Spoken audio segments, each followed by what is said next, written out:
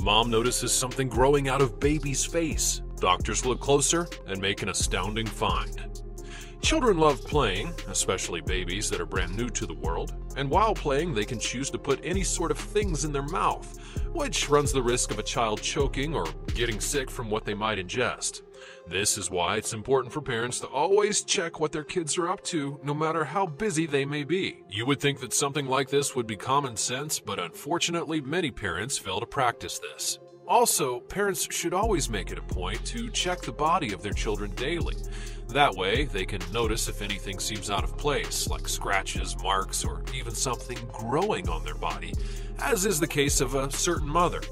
This story easily passes as one of the most strange I've come across in a long time, and even though it happened a few years ago, the weirdness of the whole situation caused it to trend even more than when it actually happened. Talk about a strange sequence of events that followed the breaking of this story.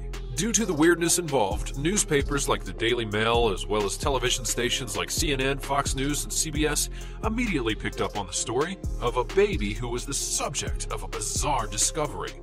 Out of the blue, a mother noticed something growing out of her baby's face. Aaron and Emma Washington suddenly began noticing a red patch on the face of their seven month old, and at first they just ignored it, thinking that it was nothing to worry about, and even believed that it may just be a pimple.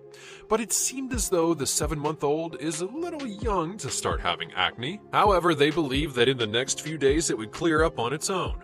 But it turned out they were very wrong. What they believed to be a simple case of acne didn't turn out to be that at all, and the diagnosis eventually turned out to be something more bizarre than anyone could have thought. After a few days, it remained, and the parents knew it was time to go to the hospital.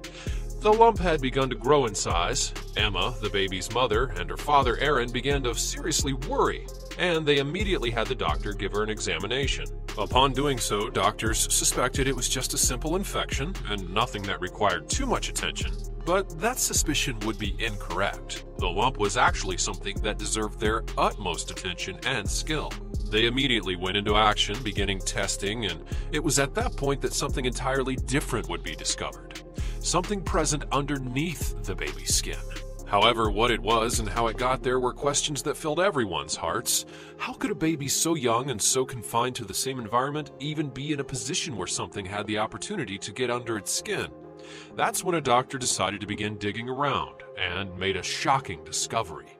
There was a feather underneath the skin of the child, a totally random and bizarre object to be found underneath someone's skin.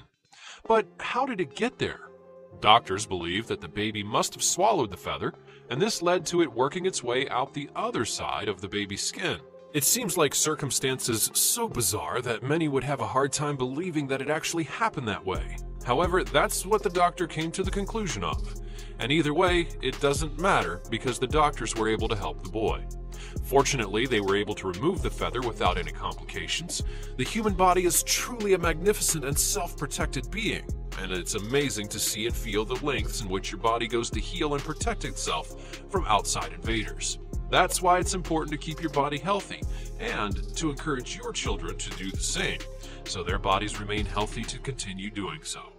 This is a lesson to all parents. You have to be sure where your kids are playing and what they're using in the process. And if something like this happens another time without a parent's supervision, the child might not be lucky enough to survive it. Be sure to share this with your family and friends to raise awareness about this situation and also leave a comment below.